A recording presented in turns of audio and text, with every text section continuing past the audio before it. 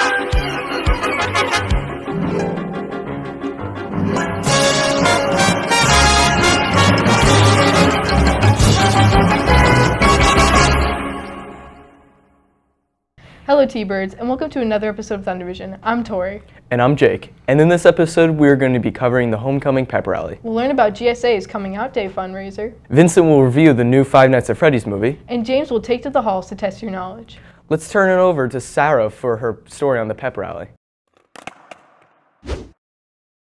The 2023 homecoming saga would finally reach a conclusion as the administration made a last minute decision to get in front of the bad weather.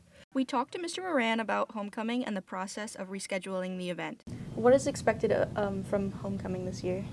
What would be expected is just everybody to come out, have some fun, partake in the parade, watch the skits in the parking lot afterwards, enjoy the football game, come to the homecoming dance on Saturday. But the weather, once again, looks like it might throw a wrench in our plans. How come you postponed the event last time rather than modify it? Uh, because we want to give everyone who worked in their floats an opportunity to really sh- let the school see all their hard work. So we thought about having it on Monday, you know, when it was canceled, but we said let's try to do a real homecoming with the parade so the whole community can see it. So um, that was our hope that everybody's hard work would be recognized. Uh, has the postponement changed the por- program in any way? No, actually, it, it worked out well because now we added a homecoming dance that wasn't originally planned for the original homecoming, and uh, gave all the classes an opportunity, a couple extra weeks to work on their float. So I thought it would have been bigger and better this time around. And can you tell me anything about the dance? The dance is in the cafeteria on Saturday night from 6 to 9. I've been here for 20 years. It's the first homecoming dance that I remember. You know, We've never had an opportunity to have all four grades together, so I'm looking forward to that. Right now, we've sold over 200 tickets, and uh, we're looking forward to it. If the weather does end up being bad on Friday, what do you plan to do? Um, we're going to talk about that today. I'm going to meet with uh, the student government advisors, the assistant principals, and try to come up with a plan. And, you know, because the forecast does not look good. Thank you. My pleasure. With Friday's forecasting looking grim, the pep rally and homecoming events were rescheduled for Thursday. This event gave the student body the chance to recognize and support our athletes as they prepared for their game the following night. Connetquot students also crowned their homecoming kings and queens, and they had a chance to view the floats the respective classes put together. Everyone's efforts really paid off. We sent Vincent out into the stands to cover the event. What are you guys' names? My name is Vincent Colazzo, senior at Connetquot High School. What's good with y'all? Uh, Dennis Cruz. My name is Mikey Holmes. Adonis Shoes. Chris Smith. Kinda G. Sincere Star Wars. All right, and uh, what are you guys doing for pep rally today? Uh, so basically, what we're gonna be doing, we're gonna be sitting out in this field. We're gonna be playing so, some damn good songs. We're gonna be playing Thriller, Jump in the Line, Cupid Shuffle, and uh, Shut Up and Dance. Out of all the classes for the pre- class competitions, who, which class do you think is going to win? My class, class 2024. Let's go, seniors! Let's go, seniors! Sophomores all the way. I think the seniors. Hey, don't sleep on the freshmen. Let's go. I'm gonna say the seniors this time. Yeah. I think it's gonna be sophomores. I think go seniors. All right, thank you guys. What's your names? Mohammed Ibrahim. I'm Fabrizio Serpi. All right, and uh, what's your part in pep rally today? We're both in student gov, and we're very proud to be a part of it. What's your opinions on homecoming's uh, pep rally getting moved to today? I'm kind of I'm happy that we're having it today, so at least we get to have it be a part of it, you know. The pep rally class competitions, who do you think is going to win? Honestly, oh, we're gonna win this year. We're gonna win. Hi, what's your names? Hi, I'm Liz Smith. I'm Emily Weaver. And uh, what are you guys doing for pep rally today? Um, so we're singing for the Long Island Voices Show Choir. Which class do you think is going to win the pep rally competitions? Ooh, I want to say class of 2026, even though that's probably a lie, but I hope so. Uh, not the seniors.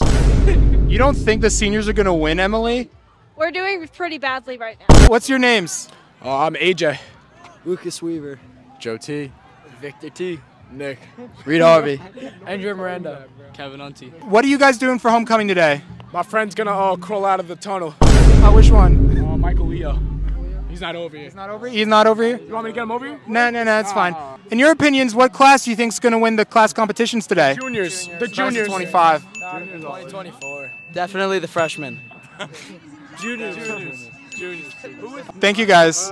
This year's homecoming was a success, raising morale for the T-Birds and a great way to lead into the homecoming game and dance. Back to you in the studio. This has been the rainiest fall we had in years. Despite the weather, I'm glad Miss Moran was able to pull off the pep rally.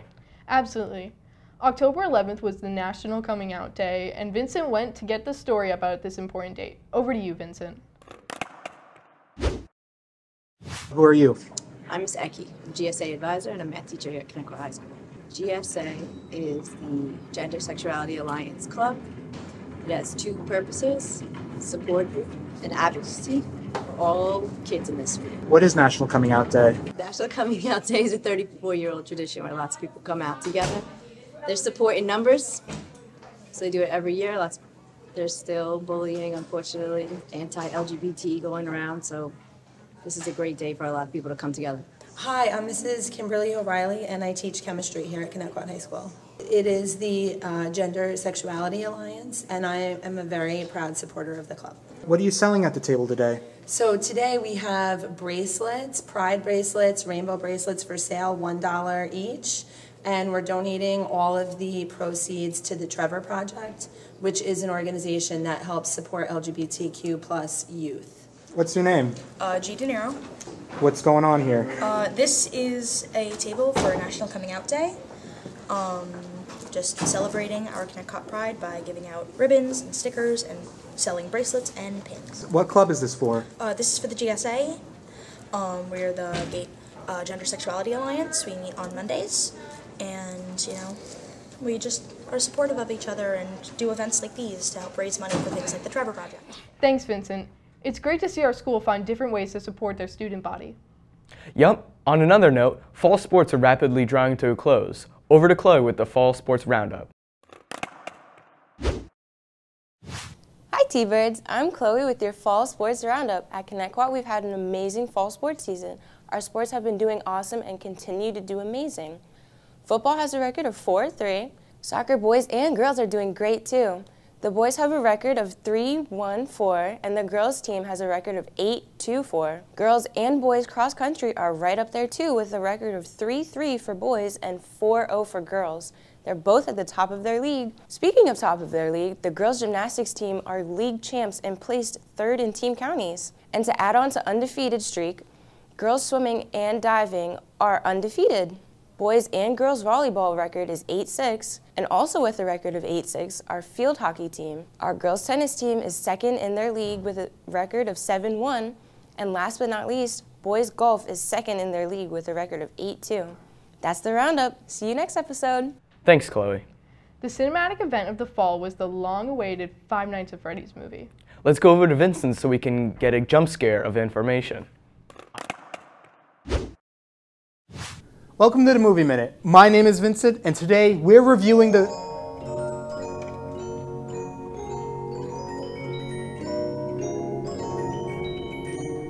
Yeah, this is what I decided to do with my life. I'm too sick to deal with that.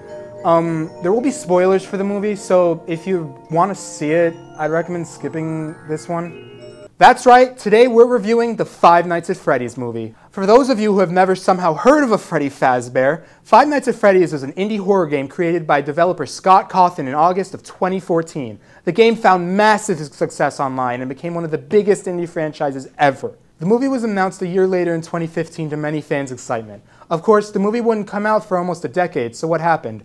Well, Scott wanted a movie to be enjoyed by everyone, even people who haven't heard of the franchise. So in a franchise with Hang on, where's my list? No, here it is.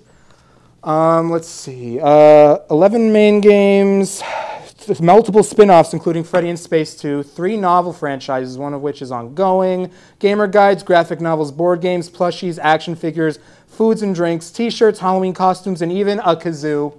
Yeah, kazoo. I'm surprised they even had a script at this point. Anyways, the FNAF movie started shooting in 2023 this February. Now that the movie's finally here, was it worth the wait? As a long-term fan of FNAF, absolutely. It's awesome to see these characters on the big screen. The amount of detail is impressive, with it referencing many aspects of the franchise that are familiar to long-term fans eh, while offering some new surprises. While it may be exactly what fans are expecting, it does fail as a horror movie. While the plot is simple to follow, the movie just isn't scary. Most of the scenes are predictable and just don't have much substance horror-wise. There's no fear factor. Also, where's the blood? There's a surprising lack of gore, which is likely due to the producers wanting to stick to the PG-13 rating that FNAF is known for.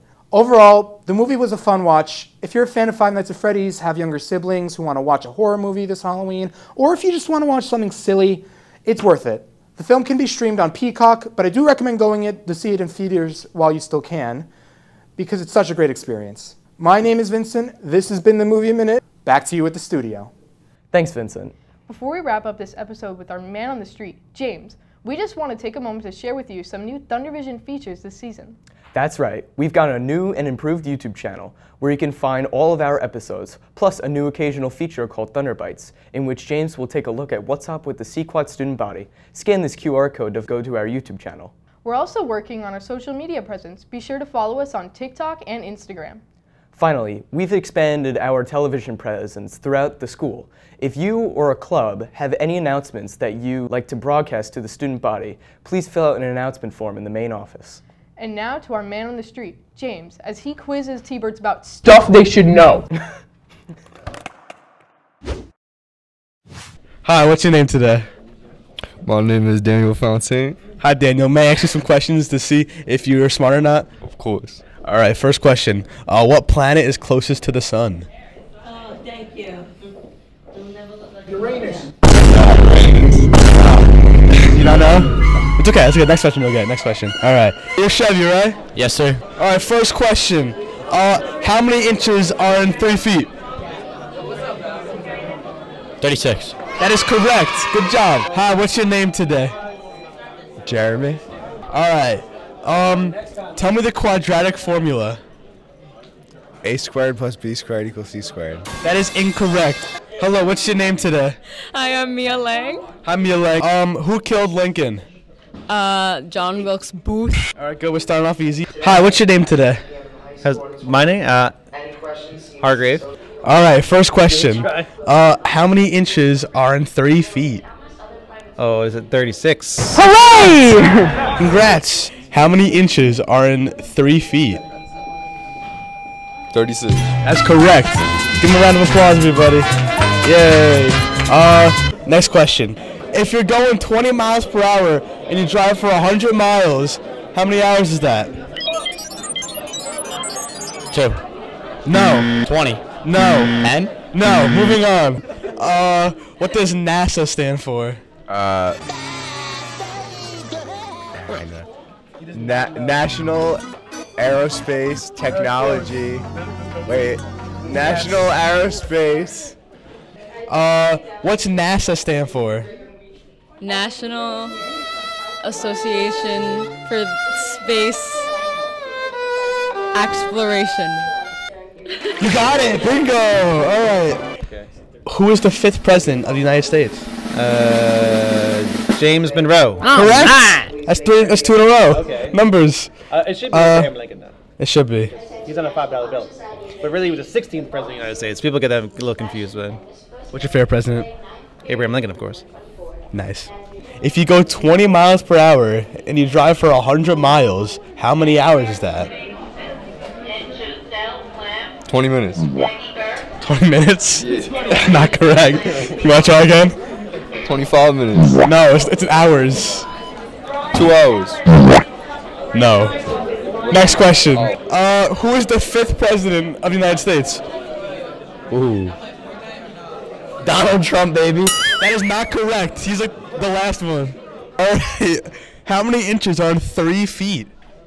Huh? Uh, 36. That is correct. Good job. All right. Tell me the quadratic formula. Um. Uh, x equals negative b plus or minus radical 2 squared over 4ac plus or no all over 2a. That is correct. Thank you. Um, next question. If you're going 20 miles per hour and you drive for 100 miles, how many hours is that? It's uh, it's how, uh, you should measure it in how many times the, the kids ask, "Are we there yet? Are we there yet?" Because that's probably like at least 50. Are we there yet? That is correct. Who is the fifth president of the United States? Uh, so it started with George, then Thomas Jefferson. I think. Who's after Thomas? It's you to find out. It ain't Abraham Lincoln. That's that's later on. That's like 30s. Um.